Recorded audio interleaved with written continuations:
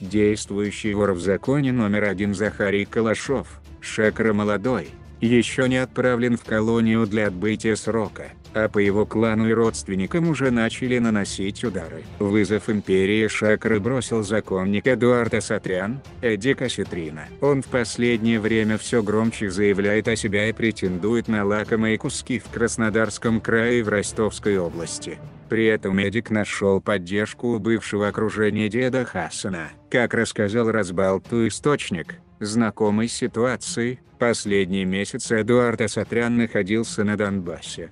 Бывая в Москве и на Кубани наездами, где выстраивал отношения с местным преступным миром и представителями бизнеса. По возвращении он, как полагают собеседники агентства, попал в список неприкасаемых для силовиков воров в законе. Задержание ему в обозримом будущем не грозит, если осетрина, конечно, не выйдет своей деятельности за определенные рамки. После возвращения с длительной командировки Асатрян заметно преобразился и явно видит себя претендентом, если не на пост вора в законе номер один то на место в самой верхушке российской мафии. По Москве он стал передвигаться исключительно на сопровождаемом машинами с охраной бронированном Mercedes-Benz S-класса в кузове V222, стоимость которого составляет около 30 миллионов рублей. Осетрине удалось собрать вокруг себя бывшее и ближайшее окружение Слана Усаяна, дед Хасан, являвшийся до своей гибели от пуль киллера вором в законе номер один. В частности, его часто можно встретить с криминальными генералами Вагифом Сулеймановым, Вагиф, и Дмитрием Чентуря, Мирон. Также Асатрян постоянно общается с законником Олегом Шишкановым, Шишкан. Последний, впрочем, тесные отношения с Осетриной не афиширует поскольку может оказаться в непростой ситуации. Перед посадкой Шакра Шишкан сблизился с ним.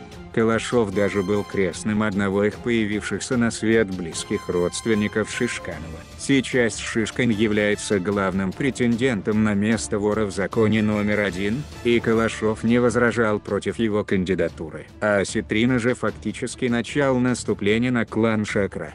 По словам источников Разбалта, под удар Осетрины попали три ближайших к Калашеву законника, с которыми он связаны родственными узами, Давид Азманов, Дата, Надар Асаян, Надар, и Шалва Азманов, Куса. Их главной вотчиной всегда являлись Краснодарский край и Ростовская область. Однако в последнее время к бизнесменам, преимущественно этническим армянам и грекам, стали наведываться ходаки от Асатрина, объясняя, что отныне коммерсанты, отказавшись от покровительства Дата, Надара и Куса, должны быть под опекой Осетрины. Несколько раз дело уже чуть было не доходило до разборок. Собеседники агентства полагают, что пока Калашов находится в Москве, пусть и в СИЗО, Асатрян напрямую войну с кланом Шакра не решится и родственники последнего в целом смогут держать удар. А дальше все будет зависеть от условий содержания Калашова в колонии. Если он там окажется полностью отрезанным от любого общения с внешним миром, Федеральная служба исполнения наказания это вполне под силу и в этом направлении принимаются определенные шаги, то руки у Асатрина окажутся фактически развязаны. Тогда ситуация перерастет в настоящую криминальную войну. Стоит отметить, что в свое время Осетрина был фактически человеком номер два в клане деду Хасана. Однако поэтому он попал к Усаяну. Официально конфликт якобы произошел из-за персон нескольких законников. Стоит. Однако, отметить, что в криминальном мире тогда обсуждали, что Асатрян попал в немилость к деду Хасану из-за своей активности на Кубани и в Ростовской области.